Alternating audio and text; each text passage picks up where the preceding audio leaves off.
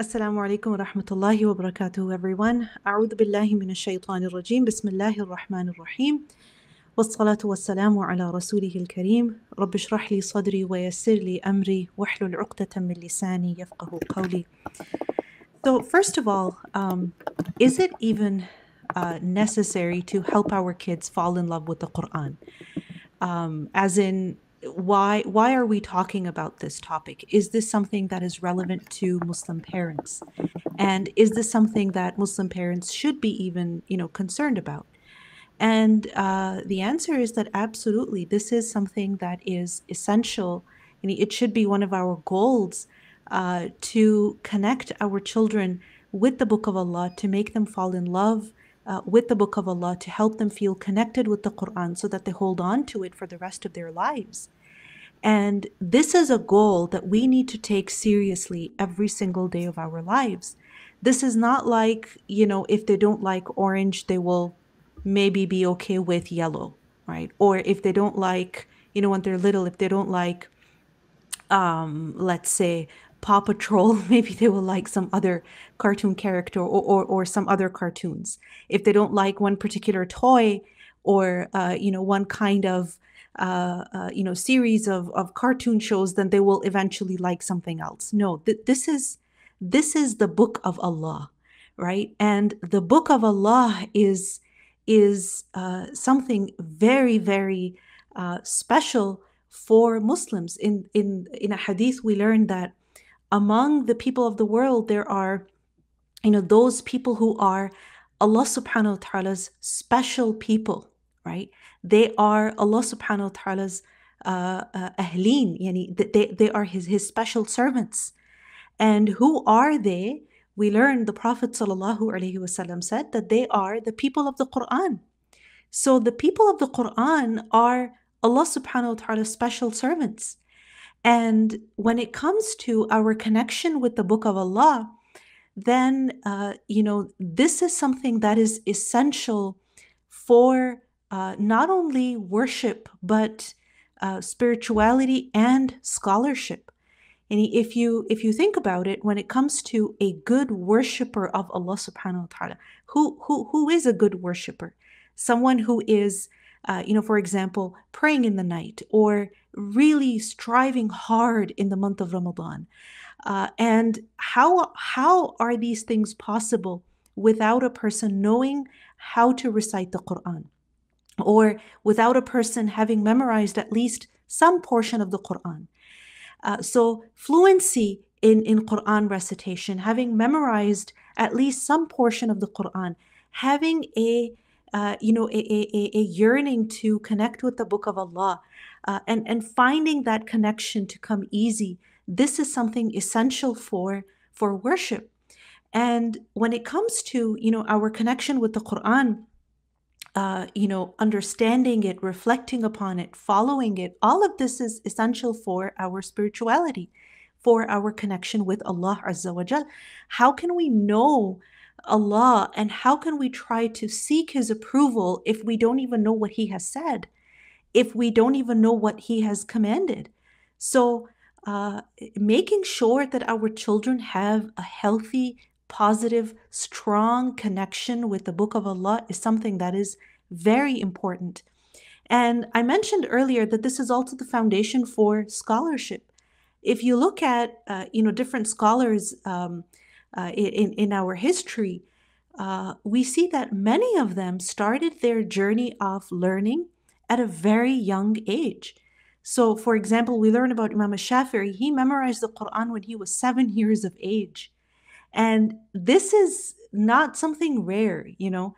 You see this across different ulama that they started with the book of Allah, right? They started with learning the Quran. And we see this among, in fact, if, if you go even further back, among the companions of the Prophet wasallam, those companions who are known to be, uh, you know, scholars, especially when it comes to, you know, Quran recitation or tafsir, uh, among them, for instance, Zayd radiallahu anhu, Abdullah ibn Abbas radiallahu anhu. These were companions who were very young uh, when the Prophet sallallahu alaihi wasallam passed away. and and these are uh, you know companions who were known for their knowledge of the book of allah so when it comes to you know our worship when it comes to uh, scholarship when it comes to our spirituality then remember that our connection with the quran is incredibly important and uh, you know this connection must begin at home it is it is parents who can play a very big role in in putting the love for the Quran in in their children's hearts. And uh, you know, like anything that you want your children to pursue, uh, you don't wait for them to turn six or seven or ten or fifteen or you know reach a certain age before you you know you you you you teach them to to to do those things. What you want to do is you want to start early right? And it's never, ever too early when you're teaching your children something. Uh, when it comes to, for example, reading books to children, you know, they say start when the baby is in the womb, right? Uh, and even when, uh, you know, a baby is literally a few hours old, you know, there's, uh, you know, things that you can show your baby, especially high contrast things to help them, you know, develop more focus in their vision. And then you you want to be able to show them books very quickly. You read books to them. You go through books with them. Why? Because you want to develop a love of reading and learning in your children. So it's never ever too early. And the same rule applies when it comes to you know uh, uh, you know the quran. If we want our children to feel comfortable with the quran to feel naturally, you know, inclined towards the Book of Allah, to uh, to know it, uh, then we have to, um, you know, uh, we we have to expose them to the Book of Allah uh, very very early. Don't wait for them to be, you know, three years old, four years old. Uh, before they, uh, you know, can memorize something, or before they can listen to something from the Quran, or don't just wait to find the perfect teacher uh, or the perfect Islamic school or some kind of program in which you can enroll your children uh, and only then can they learn the Quran. This has to start at home. And this has to start when children are still very young. And it doesn't have to be, you know, something too elaborate. You know, it, it, it begins with something, with things that are very, very basic. You know, for instance, uh, if if babies are uh, uh, you know unhappy right? Which is very often. Uh, one thing that they say is, you know, to calm your baby down, play some music. Well, why play music? Play some Quran, right? Play some Quran, recite some Quran yourself, play the recitation. And, you know, th- there's actually really cute toys out there where, uh, you know, for example, a bear and you press the hand and, you know, it, st- it, it, it recites Surah Al Fatiha, things like that. You know, you could have toys that play music around your children, or you could have uh, toys that you know recite the Quran, for example. Right. So you want to make sure that they're listening to the Quran from a young, from a very early age, and it doesn't stop. That that listening doesn't stop when once your children start, you know, talking.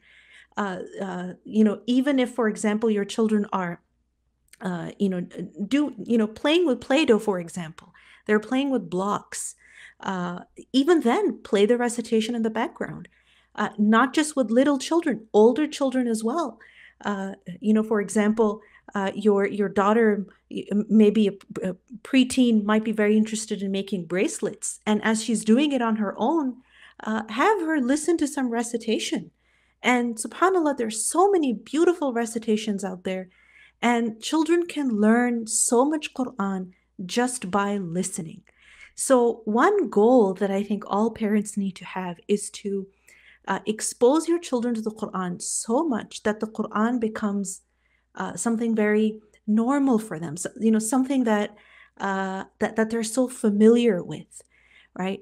Uh, uh, likewise, you know, you you teach your children different things, different songs, different rhymes. Make sure that you're also teaching them, you know, different uh, surahs of the Quran.